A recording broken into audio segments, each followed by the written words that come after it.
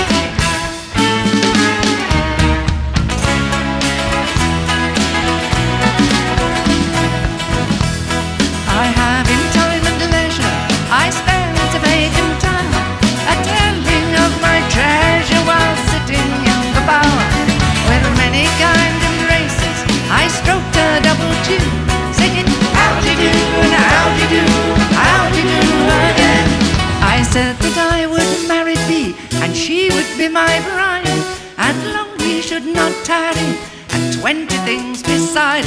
I'll plow and sow and reap and mow, and you shall sit and spin, singing, How'd you do? How'd you do? How'd you do? again?" Her parents then consented, all parties were agreed.